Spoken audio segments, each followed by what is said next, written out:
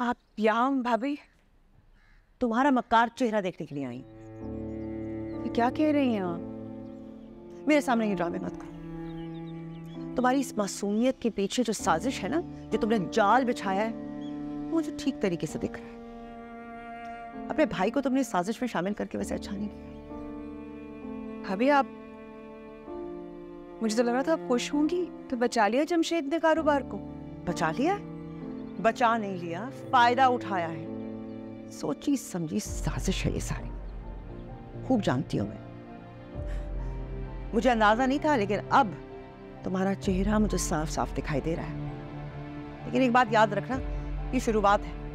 ये जो आग तुमने लगाई है ना, बहुत जल्द इसमें जलकर राख हो जाओगी। भाभी, लग रहा है जल तो आप रही कि कहीं हम आपकी बराबरी पर ना आ जाए।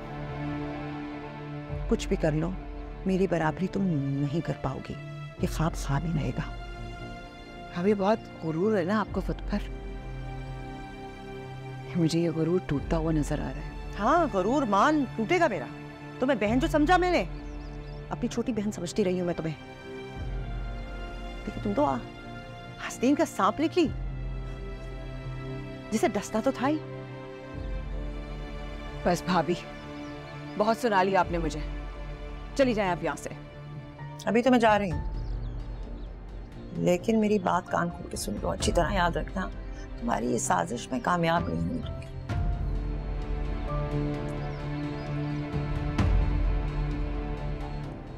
भाभी का तो दिमाग खराब हो गया।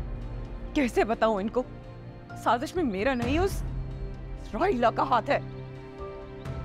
जिसको देखो मुझे ही सुनाया। मुझे भी बोलता है। नहीं सुननी मुझे किसी की बात। साजिश बिल्कुल साजिश।